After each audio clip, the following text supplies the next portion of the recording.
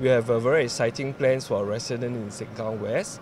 Uh, in terms of transport, uh, we're going to have some new bus services uh, coming to this part of uh, Sengkang West. Uh, we're also going to have a double carriage LRT uh, that will be implemented sometime in 2016. And with a double carriage LRT, the capacity will actually double, and this hopefully will actually decrease the waiting time for our commuters.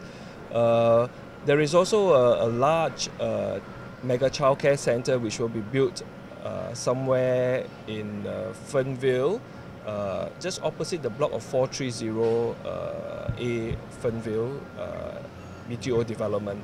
And this large childcare center will be run by NTUC My First School and it has a capacity of up to 500 students.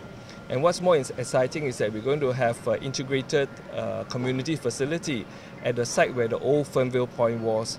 And we were trying to fight very hard you know, to have a hawker center, a wet market, and childcare services uh, over there.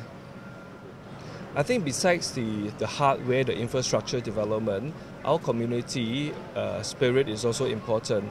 And my community, uh, my committee members, uh, together with my grassroots organizations, will actually organize uh, more activities, you know, to, to sort of integrate uh, our residents, you know, to build a cohesive society.